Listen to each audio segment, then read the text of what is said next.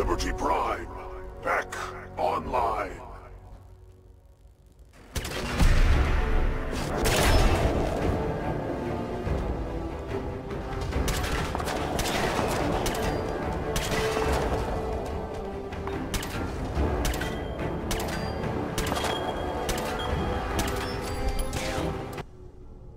You're the proof that Maxson's wrong. You're a synth, but everything you've done has been for the good of mankind. You're right.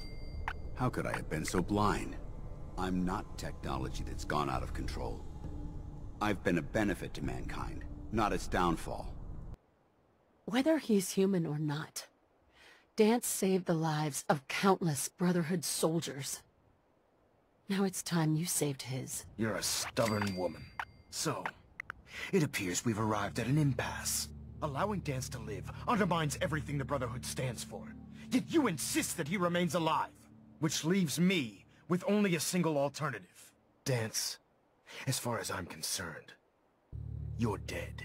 You were pursued and slain by this Brotherhood Knight. And your remains were incinerated from... Goodbye, Danse. Farewell. I hope the next time we meet, it will be under happier circumstances.